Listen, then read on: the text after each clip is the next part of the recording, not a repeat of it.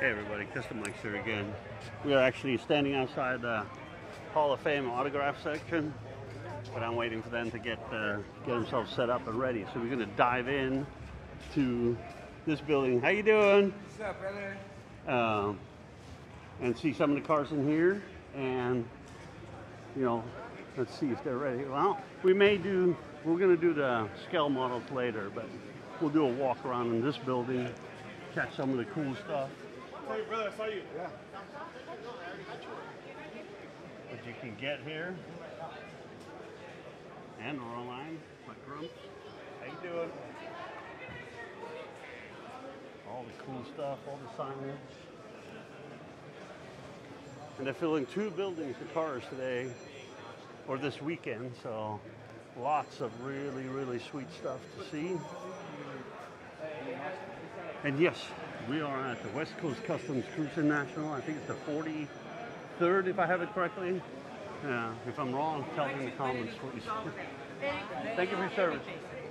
Um, and uh, it's in uh, Santa Maria Fair Park.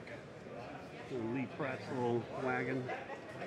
Very, very uh, influential wagon on my, on me anyway. So.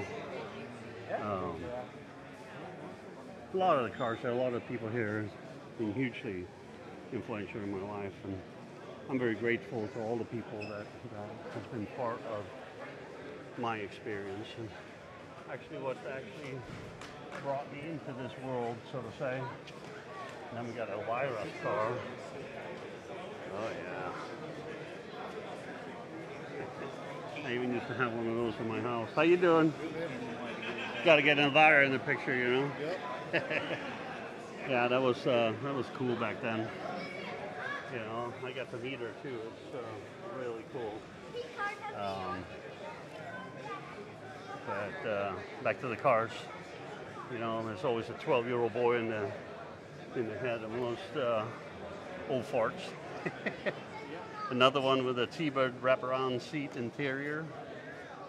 That's really cool. I love that back seat.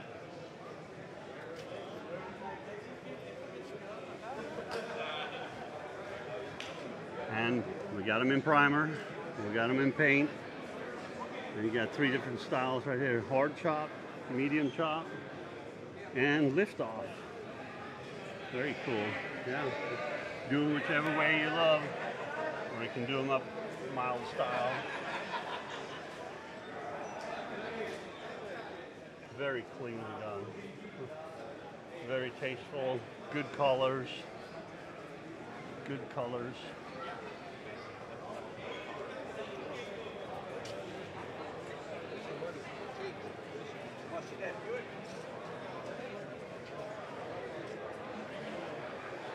Yeah, right place to be.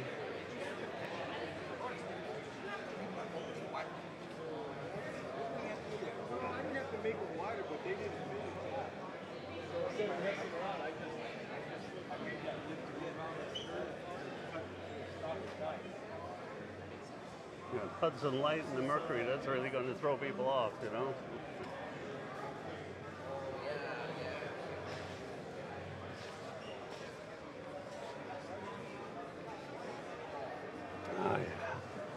So much cool stuff.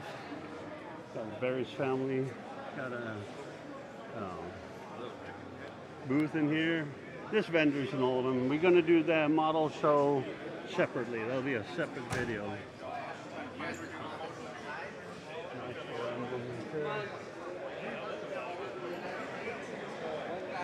Yeah, I'm actually uh, making the two chairs. Back with this, so I'm not gonna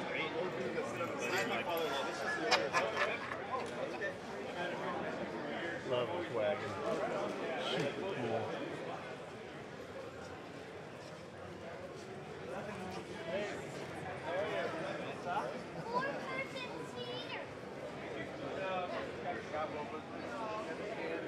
Look at that.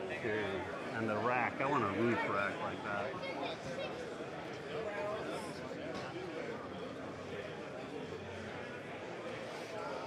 And we got my friend here from Cruising News hanging out. Hey there, Mr. Cruising News. Mike, how you doing, bud? Good. How are you doing? You know, I'm really well today. Having a lot of fun here at the West Coast uh, uh, Custom Show.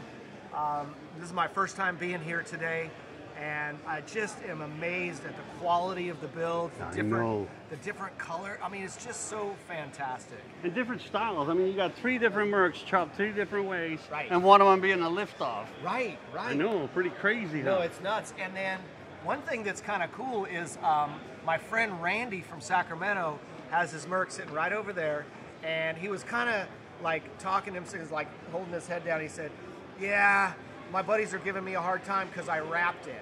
I wrapped, dude, I that thing my is car." cool. I'm like, "Are you kidding, Randy?" Yeah. He- so he had one of his buddies come by with a pinstripe and cover up one of the seams. Yeah. And it just looks great. And I mean, here's the thing: you can spend 20, 30, 40 grand on a paint job. Uh-huh. The wrap's 3,500 bucks, four Yep. grand, Yep. and and you can change the color next year. Yeah, and, and you can print all kinds of graphics and Right, stuff on it. right, right. And then change it every year. I mean, you, you can change it ten times. right for the for the amount of money that you get one paint job once. And hey, uh, you know, guys who put paint down are artists. There's no Yeah, question no, about it. absolutely. And the material, and Yep, you know, yep. AQMD and EPA had Right. ruined the cost Right, factor. that's right, that's that's right. That's where the wrap has come and stepped in. Well, know? what's what's cool about that, and what's cool about the show, is that there's so much stuff here. Yeah. And there's so many different varieties. Uh, I think they limit the, the the vehicles to 65 and older.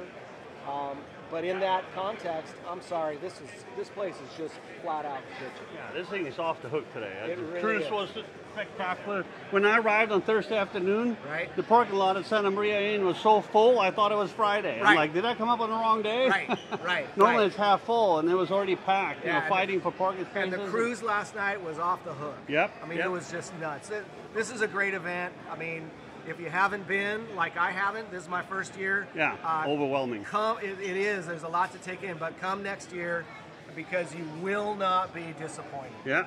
Will not be disappointed. They could get some of these clocks from you too. Yeah, yeah, met yeah. with, so, uh, so or not the- clocks. Uh, yeah, neon. The neon, neon. signs. So Yeah. I went to SEMA last year, and I bumped into this guy. He had a, a booth that was 20 by 20 by 20 tall, and there were probably 300 signs there. I couldn't believe it. Yeah, I, was, yeah, yeah. I was just amazed at how captivating they were, right? Yeah, and, yeah. and he's got some really big ones and some grills and stuff. So I talked to him and said, listen, uh, I go to these shows and it's a little bit of extra time setting up and tearing down, but it might be the difference between uh, between breaking even, selling subscriptions to the Cruising News, and, Yeah. and selling some signs. What's the range of what's hanging here, roughly? So these are roughly 500, 250 to 500 bucks. Yeah. The thing that's great about these signs is that they make people happy. Yeah. Right? They Yep. they they put them in their garage. They the, the light bounces off the paint. Yep. And there's this feeling of contentment that is just hard to beat. So, Yep. uh, All right. you know, I'm selling happiness. Mike, is so It's great good to see you. Keep up the good work, man. Thanks Always for being fun- here. Always fun following. I think yeah, somebody had a question, so I'll get out of the way. Yeah, there you go. And actually, well, let's go look at the wrap one. You know, this one's painted and it's absolutely gorgeous and it's beautiful and all those other things. But just like you said, there's a cost factor. And you look at the thing as we walk by it, it is really hard to tell that this one is not painted.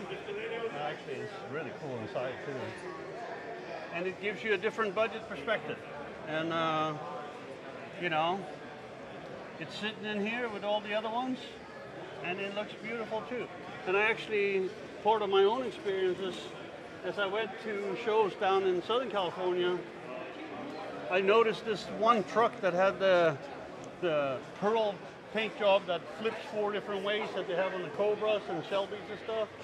Uh, and the reality is, is that I filmed it like four or five times without realizing that it was actually a wrap.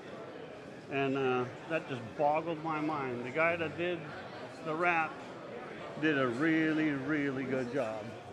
And uh, really got me fooled. So, how you doing? So we'll do the scale model thing in a little bit here, but this is uh, off the hook. So what we're gonna do is go and film the, the Hall of Fame uh, autograph section, and I'll be probably on the next video. Love you all. Thanks for supporting Customikes. You're very welcome, Mike. Thank you so much. Thank you for everything you do. yeah, you, you're double shooting it. all right. See ya.